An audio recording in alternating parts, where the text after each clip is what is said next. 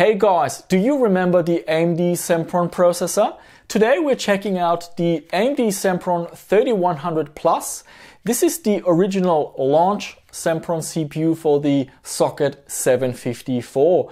We will test Windows XP, Windows 98 as well as MS-DOS. So the AMD Sempron launched in 2004 for two sockets, for socket A as well as socket 754.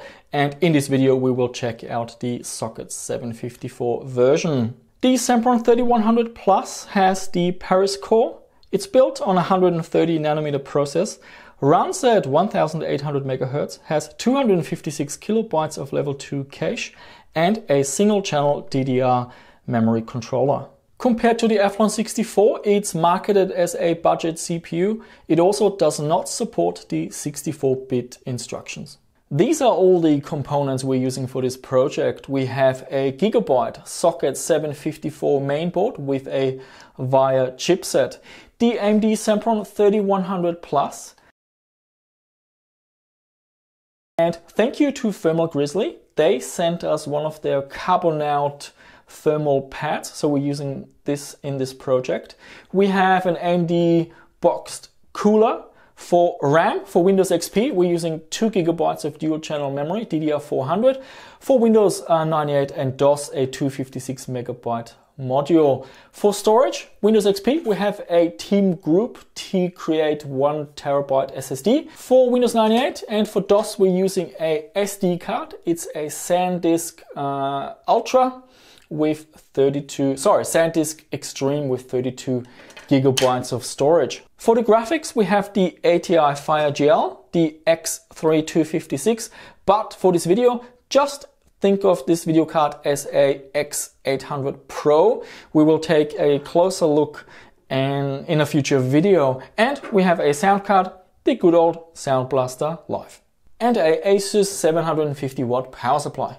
We will test Windows 98 and DOS a little bit later, so let's begin with installing Windows XP. I tried using the WinSetup from USB project, however, we're getting USB 1 speeds way too slow, so I ended up connecting a optical disk drive and installing from the good old CD. For the drivers, we're using the Snappy Driver Installer Origin project and Usually I deselect the graphics and the audio, but for this project I select installing all the drivers. And of course it fails to boot, that's what you get for changing your own process. So the fix is easy, I choose last known good configuration and then manually I install the latest FireGL drivers from the AMD website.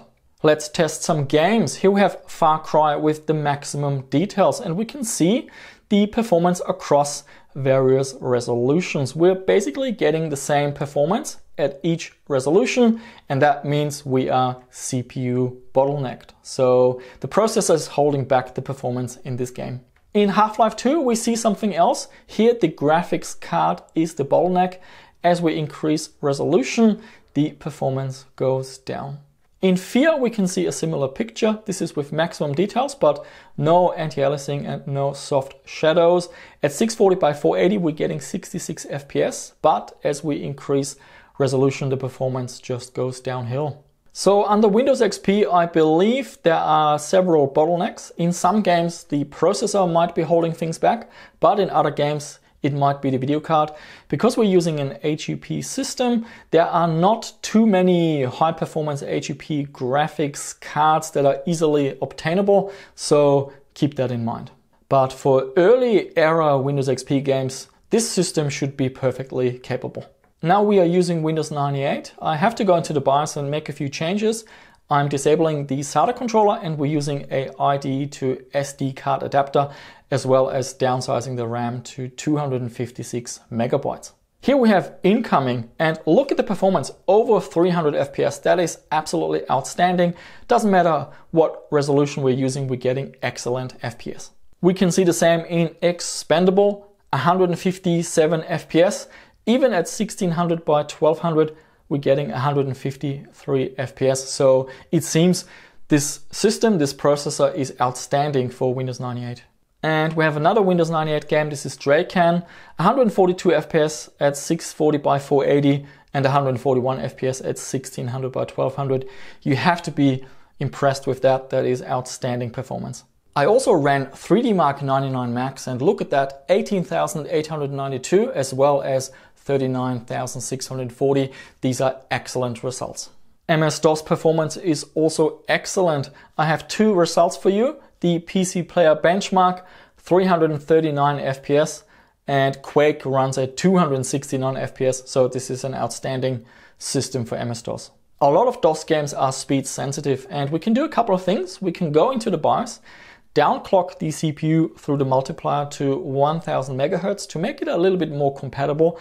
We can also lower the RAM speed to 100 megahertz and then we can use SETMUL to disable the onboard CPU cache and look at that 3D bench gets a score of 28.3, which is a basic 486 uh, equivalent uh, in terms of performance. So yes, by toggling a few options in the BIOS and using SETMUL, we can turn this into a really excellent DOS machine that's compatible with speed sensitive games as well. So the Sempron 3100 Plus is not a bad processor, but can it run Crysis? Here we have Crysis running at 800 by 600 resolution. We do get a warning initially that the video card is not supported, but the game launches just fine. I set all the details to low to give this system a fighting chance and yeah, it's smooth, it's playable. Wow, what a surprise. Yes, it does run Crysis. So guys, what is my take on the AMD Sempron 3100 Plus? For late Windows XP era games, the processor is a little bit underpowered, but it is capable with early Windows XP games. It is extremely capable under Windows 98 and also under MS-DOS with the caches disabled, even compatible with speed sensitive games. So I see this processor really handy for any uh, hybrid projects or crossover projects. For example, if you want to build a triple operating system machine covering DOS, Windows 98 and Windows XP, this is a really good CPU.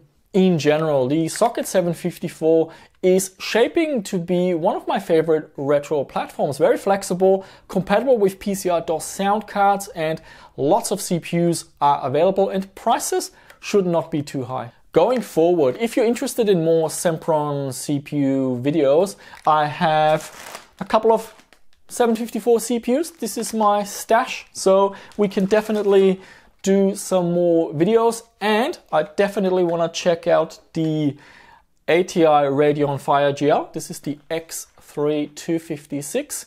This could also be very interesting. In this video, we just briefly used it for this project, but I think this card deserves a dedicated video. I have two videos for you to check out. The first one is the top CPU for the Socket 754 and the other one covers building a retro gaming PC with the Socket A platform. And that's it for this video guys. Thank you so much for watching. Leave a comment down below and subscribe to the channel if you haven't done so already. I shall see you soon with another one.